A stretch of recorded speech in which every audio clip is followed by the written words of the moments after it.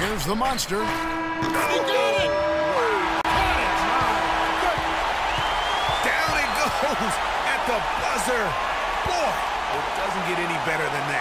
Phenomenal finish. A three at the horn. Are you kidding me? Are you kidding me?